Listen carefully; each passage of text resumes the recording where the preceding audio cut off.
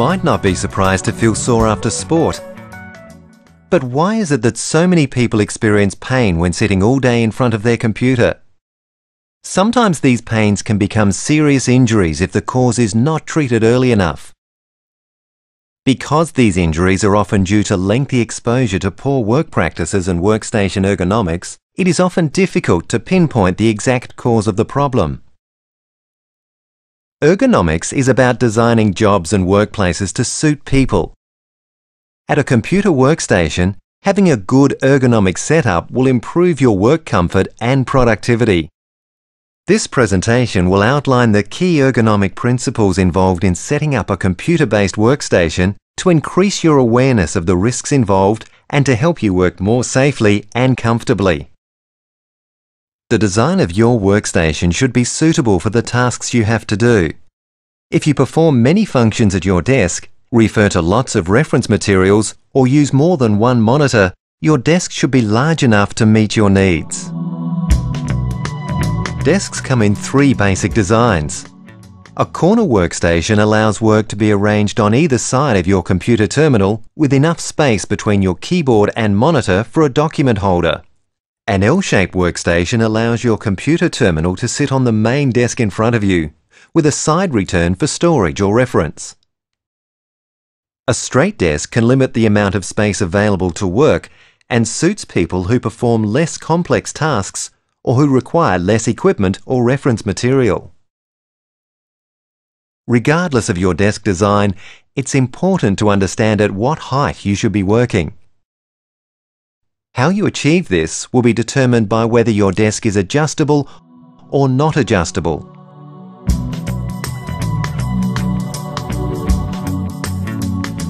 If your desk height is not adjustable, you should adjust your chair height so that the keys of your keyboard are about level with the point of your bent elbows. If your feet are not comfortably flat on the floor, you will need to use a footrest. It's important not to have the keyboard too high as this places stress on your neck, shoulders and arms.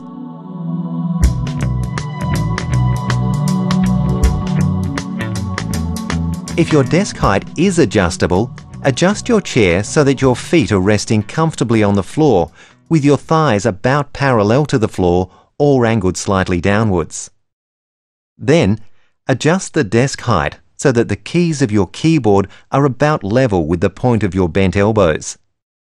It's important not to have the keyboard too high, as this places stress on your neck, shoulders and arms. There should not be enough room under the desk to cross your legs, and nor is it a recommended working posture.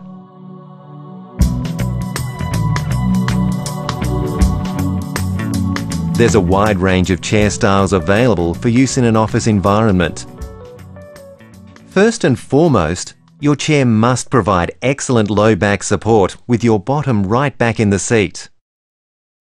For a chair with an independent backrest and seat adjustment, firstly adjust the backrest height and tilt so that the curved part fits snugly into the small of your back, with your bottom fully back in the seat.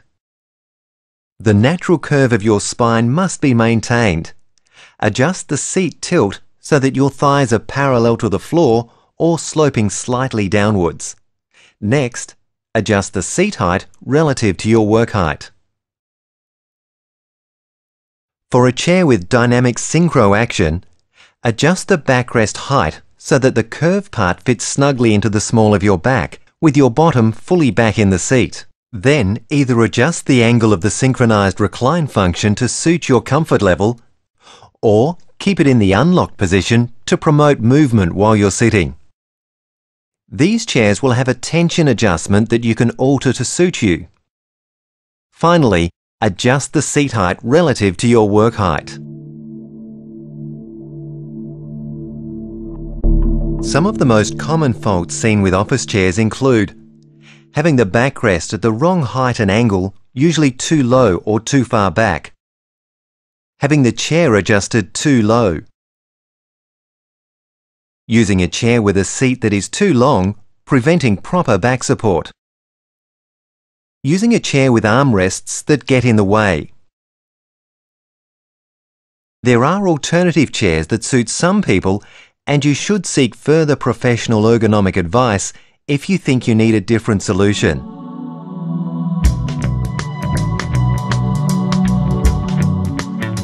Even if you have a correctly adjusted chair with excellent features, you should still aim to take short, regular breaks throughout the day or vary your tasks to change your posture. By keeping the equipment you are using a lot of the time close to you, you will avoid having to continuously reach for your keyboard, your mouse and your phone. In particular, if you refer to paperwork, don't repeatedly reach over it to use your keyboard.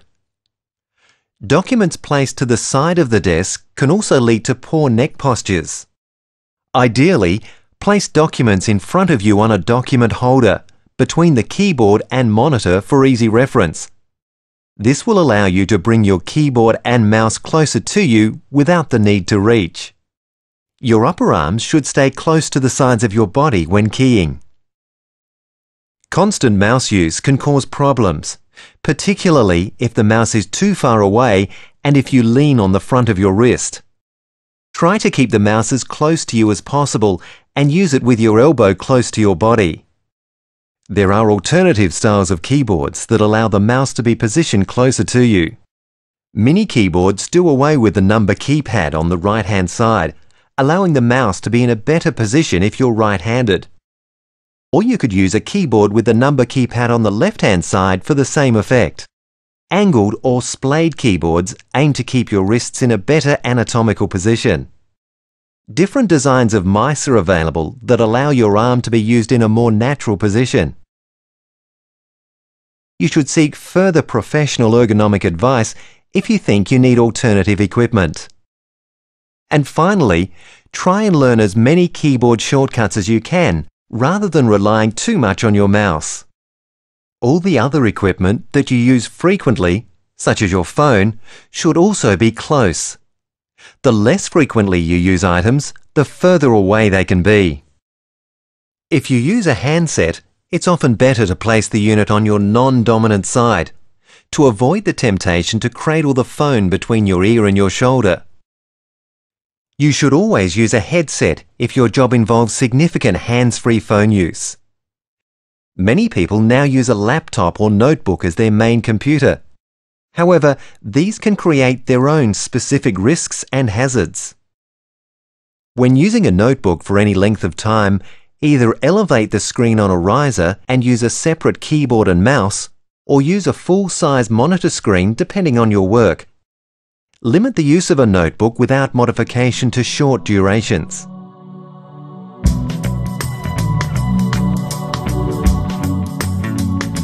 The distance, height and angle of your monitor should allow you to view the screen without tilting your head up or down or leaning forwards. Keep monitor heights consistent if you use more than one screen. Place your main screen directly in front of you. Or if you use both screens equally, Position each monitor at an equal distance symmetrically. A mobile monitor arm or adjustable height monitor can be easily adjusted to suit the operator. A monitor arm also allows for more flexible use of desk space. Be careful if you wear bifocals or graduated lenses, as this can sometimes lead to poor neck postures when looking at the screen.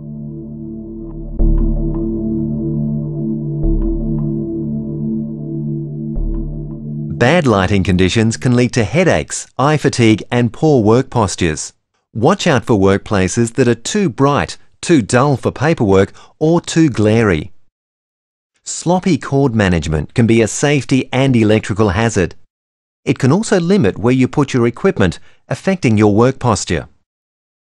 Any obstructions on the floor could present a trip hazard to yourself or others, so keep it all tidy. Finally, it's hard to stay organised and work well if your desk is cluttered and untidy. Remove anything you don't need and keep your work area orderly and well set out.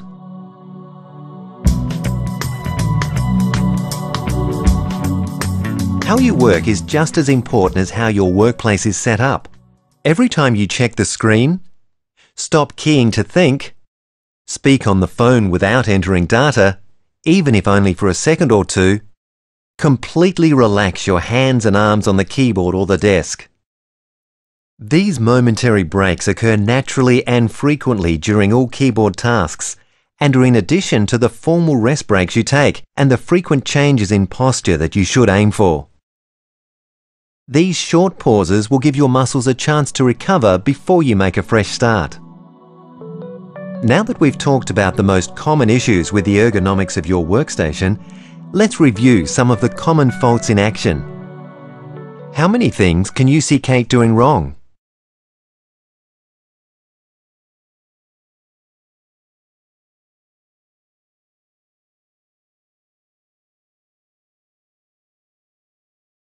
Kate's desk appears too cluttered and disorganised for all the tasks that she is performing, which is affecting her posture.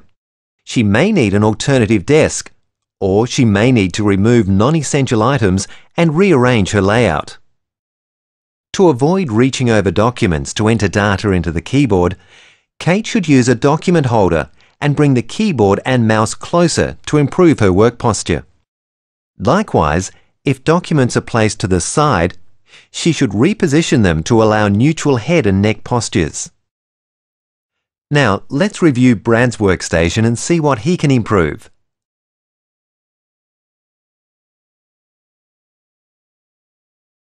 Brad should never hold the phone between his ear and shoulder. He should either hold the handset with one hand or use a headset. Here we see Brad sitting too low relative to his work height. He should either adjust the desk lower if the desk is adjustable, or sit higher if the desk is not adjustable. Finally, Brad's sitting posture is not good. The chair backrest should be adjusted to maintain his low back curve, and he should sit back in the chair to get better support. In our last case study, what problems can you identify with the way Colin is working?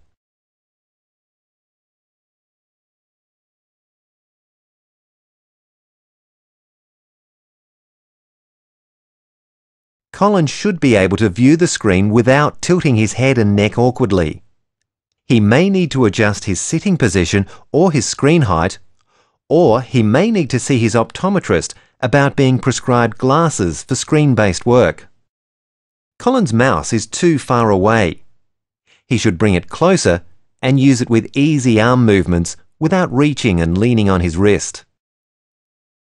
Colin should not sit with his legs crossed under the desk. There should not be enough room under the desk to cross your legs, and nor is it a recommended working posture. If you picked up nine faults across the three examples, well done! Computer-based workstations are constantly evolving, but the underlying principles of good work posture don't change. Now that we've shown you some of the common issues associated with computer-based workstations, can you identify any improvements that you can make in the way you work after having seen this presentation? Because when you're working safely, everyone wins.